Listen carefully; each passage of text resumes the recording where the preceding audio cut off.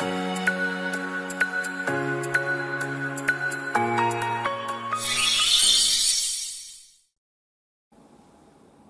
い、こんにちは、レトスノーです。今回なんですけれども、秘密証書遺言、民法970条から972条の内容を解説いたします。秘密証書遺言っていうのは、秘密と書いてある通り、遺言の内容が誰にも、えー知られたくない場合に使ったりするんですね。あと、まあ、後々こうお話ししていく中でわかると思うんですけども、これ証人だったりとか、え交渉人とか、こういった人がいるので、遺言があることが周りの人を知ってるわけですよね。遺言はあることはわかる。なのでこの遺言した人が亡くなった場合、遺言があるよってことを伝えてもらえるわけです。場所がどこにあるかっていうのはわからないけれども、どこかにはあるわけなんで、まあ、探すわけですよ。自筆証書遺言の場合っていうのは、そもそも遺言があるかないのか誰もわからない場合があるので、遺産分割協議が終わった後とかに発見されたりとかすると、まあ、めんどくさくなるんですね。なんで、まあ、そういったことがないのが、まあ、秘密証書遺言なんだと考えていただけるといいと思います。で、秘密証書遺言には書き方があるんですね。で、まず一つ目が、遺言者が証書、秘密証書遺言のことです。これに署名、押印をしなければなりません。で、パソコンで作成してもいいんです。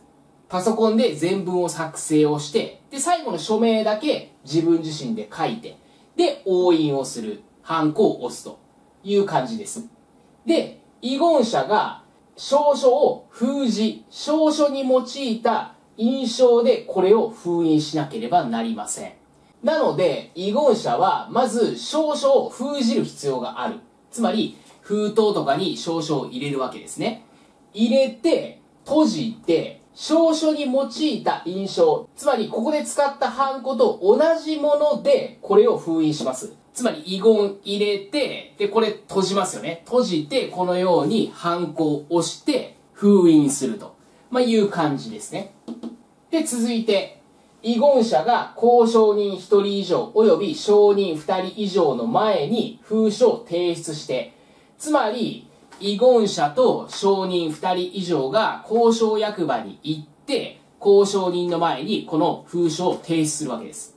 で、事故の遺言書である旨、筆者の氏名、住所を真述します。つまり遺言者が、この遺言書は私が書いたもので、私の遺言書です。で、筆者、まあ、筆者って遺言者ですね。遺言者は私です。で、住所は何々です。で、伝えます。そして、交渉人が日付、真実を風刺に記載。ここに記載をするわけですね。これに記載をします。この遺言っていうのは、住所がどこそこ、氏名が誰々。この人の遺言ですよってことを風刺に記載します。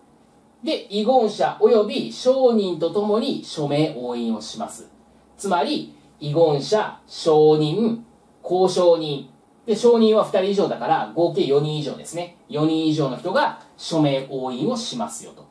まあ、いった感じで秘密証書遺言は作成されます。で、もし、これに従わなかった場合、例えば、証書に押してある印鑑と、ここの封印の印鑑、これが違うとかですね。まあ、こういった場合っていうのは、秘密証書遺言としてはこれ効力持たないです。ただし、自筆証書遺言の方式に従っていたというのであれば、自筆証書遺言として有効とはなります。つまり、これパソコンで作成していたのであればダメなんですけども、まあ、自筆でね、えー全文書いていたとか、まあ、そういった感じで、自筆証書遺言の方式に従っているのであれば、自筆証書遺言としては有効になりますよという話です。で、続いて、口が聞けない人の場合っていうのは、ここで真実することできませんよね。これは自分の遺言ですよ。住所を伝えます。遺言者の名前伝えます。これ、口が聞けない人の場合できませんので、この場合っていうのは、交渉人、証人の前で、えー通訳人が通訳する。もしくは、えー遺言者が自分自身で書く。こういうことによって真実したことになります。で、この真実があった場合、まあ、交渉人はその旨を風刺に記載します。つまり、通訳人によって真実しましたとか、辞書がありましたっていう旨を風刺に書くと。まあ、封筒に書くということですね。でこれについては公正証書遺言と似ているので、まあ頭に入れやすいかなと思います。まあポイントとしてはこっちですね。1、2、3、4つ。5つかな？最後の5つ。こっちの左側、ここをしっかり頭に入れていただければと思います。そして最後にお知らせです。試験まで約3ヶ月。そろそろ実力はついてきていますでしょうか？実際弊社の受講師さんは、すでに模試を行っていただいて、コンスタントに40点前後取っていただいている方もいらっしゃいます。勉強の仕方を間違えなければ、宅建試験は4ヶ月あれば一発で合格できます。弊社の受講師さんの中でも、中卒で元飛び職、法律知識が全くゼロ。この方は7月中旬から受講していただいて、たった3ヶ月で一発合格しました。この方でも3ヶ月で1回で合格できる資格なんで、あなたも今年合格できます。勉強始めたはいいけれども、なかなか理解できない。解けない問題がたくさんある。今年合格できるか不安。でも絶対今年合格したい。もしあなたがそう思っているのであれば、短期集中実用カップ講座はおすすめです。理解すべき内容は解説に書いてあります。具体例、考え方、関連ポイント、一緒に解説に書いてあります。分かりづらい部分も分かりやすく噛み砕いて解説してあります。